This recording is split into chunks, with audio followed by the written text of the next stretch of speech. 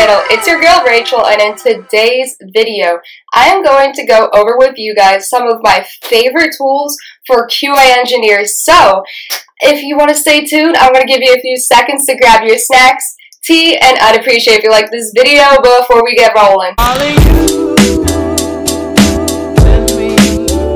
I'm going to share with you guys some of my favorite tools for QA engineering that I've used throughout college, and I even use to this day some of them. So, I'm just going to dive right into things. So, one of my favorite tools that I've used since college, that I've used in my courses with fellow classmates that I even graduated with. So, Microsoft Teams is a wonderful tool to look into. Now, I'm just, I'm not going to tell you everything about each tool, but I'm going to just point out a few of my favorite features. So with Microsoft Teams, I think one of the biggest takeaways of this tool is the fact that you can screen share. If you're on a video call with somebody, you can give them permission to take over your screen and click on tools, applications, browsers that you have going on on your desktop. So I think that is a very useful feature and probably my favorite when it comes to Microsoft Teams. I also think it's really useful because they also have the regular screen calls as well. And they also have a mobile application, which is pretty useful if you're on the go too. So another tool that I really enjoyed throughout my QA engineering is Jira. I think that is hands down one of the most useful tools that not even just a QA engineer might use. Jira might be one of the most useful tools for almost any tech company. It could be useful for your developers, project managers, anybody that's involved on the project itself. Jira is great. And I think my favorite feature about Jira would have to be the Kanban board feature. I really like that you can just lay out your workflow and see what's in progress, what needs to be worked on, or even what tasks are done. Now I'm going to be talking to you guys about a new tool that I've been introduced to recently in 2020, and I think this is a very useful and powerful tool for not only just your team, but this tool is really going to be useful for your clients as well. So I'm going to give you a demo of this tool. I'm going to explain some really cool features about this and I'm going to explain the importance of this application and how this can be used in your day-to-day -day routine, workflow, however you want to use this tool. I think this is very powerful. So let's dive into this. Okay, so the first thing I did is set an invitation link to myself. And once you click on that, you can see the Kanban board right away, which is so great because you can quickly, easily add a task just by clicking that add a new task button.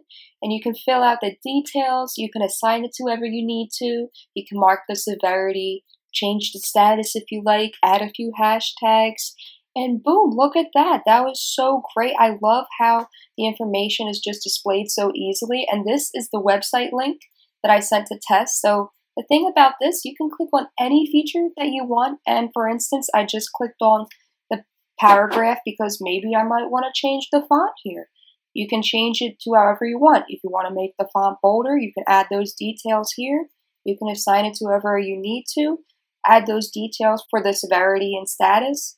And there you go. It's as easy as that. And that's what I really love about this tool because you don't even need to have any crazy technical experience to use this. And that's the best part about how user friendly this is. And this is going to be a very powerful tool for your clients as well because as you can see, they can mark up the website how they want, they can add boxes, text, whatever they want to change, they can make it possible and they can make it simple and as easy as capturing a few screenshots, adding that task detail, and it'll get sent directly over to that Kanban board that we saw earlier. So I'm going to leave all the information for BugHerd down below in the description box. And you can also access the new Chrome extension as well. So I'll leave the information in there. Let me know what you like. Alright, so another useful tool that I think has also been helpful throughout my college life has been Trello. Trello is very user friendly, and not only that, but it can integrate with other tools and applications, such as Jira. Trello can integrate with Jira, which is pretty useful. Another feature that is really great about Trello is just like Jira, it has that Kanban board feature. I don't know about you guys, but for me, I just love being able to have all my workflow just displayed nicely so I can see where everything is, what needs to be worked on, so I can organize it to how I want it to be, or just it's more organized for the company too. So these are some really great tools to look into. And I also have one more bonus tool. So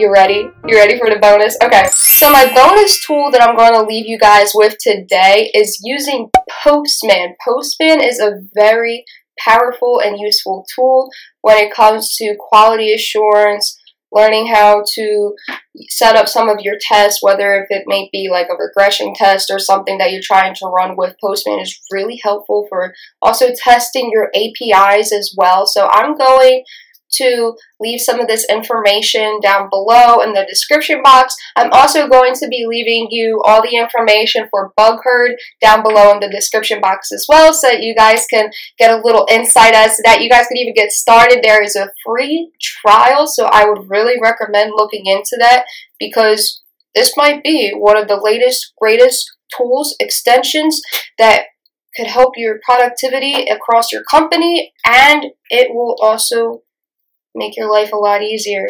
Okay, so these are my favorite tools that I've been using throughout my QA engineering lifestyle here. So, if I missed any of your favorite tools, leave those comments down below. You know, don't be stingy. Share your knowledge and wealth with the community. Let us know what you think is helpful. If you think that any of the tools that I mentioned is helpful in your day-to-day -day workflow, whether if it's in real life or if it's just your personal hobby that you're doing on your own for your own separate individual projects, let me know what tools have been useful for you. And also, be sure to leave some comments down below as to what topics you'd like for me to cover next.